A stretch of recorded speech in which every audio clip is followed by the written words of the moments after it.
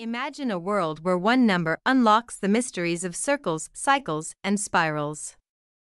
That number is pi, a seemingly ordinary number that starts with 3.14159, but stretches infinitely without repeating. In history, mathematicians worked hard to approximate a more accurate value of that number, each contributing to its fascinating story. One of the earliest recorded attempts came from ancient Babylonians and Egyptians, who approximated pi to around 3.125 using basic geometric shapes. However, it was the legendary Greek mathematician Archimedes who made significant strides in calculating pi more accurately.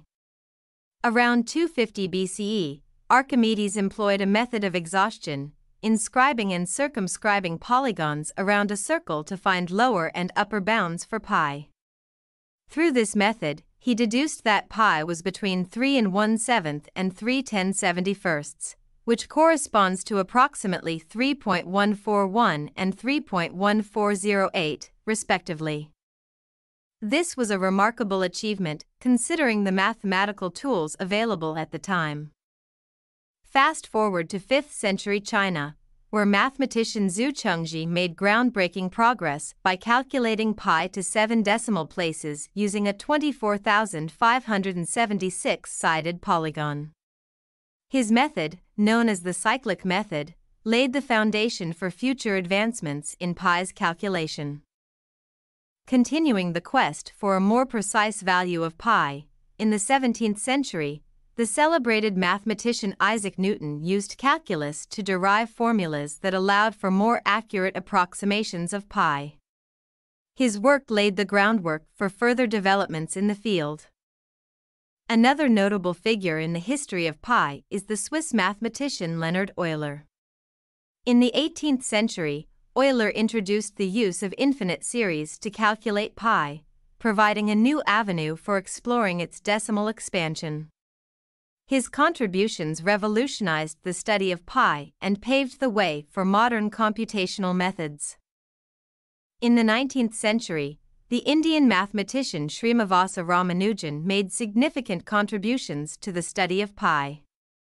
Ramanujan developed ingenious formulas and series expansions that advanced our understanding of pi and enabled the computation of its digits to unprecedented precision the following series converges and the sum equals 1 divided by pi. If we only use the term n equals 0, we obtain the following approximation. Now, what if we want to approximate pi in a fun way, like by dropping some sticks or needles on parallel lines? Suppose we have a floor made of parallel strips of wood, each the same width, and we drop a needle onto the floor. What is the probability that the needle will lie across a line between two strips? This method is called the Buffon's needle problem. Buffon's needle was the earliest problem in geometric probability to be solved. It can be solved using integral geometry. The solution for the sought probability p, in the case where the needle length L is not greater than the width t of the strips, is p equals 2L divided by pi t, this can be used to design a Monte Carlo method for approximating the number pi, although that was not the original motivation for the Buffon's question. So we can approximate pi using the following formula. Number of needles that hit lines divided by total number of needles is almost equal to 2L divided by pi t. If L equals t divided by 2, then pi is almost equal to total number of needles divided by number of needles that hit lines. Now, let's try to implement a simulation using C++ and SFML.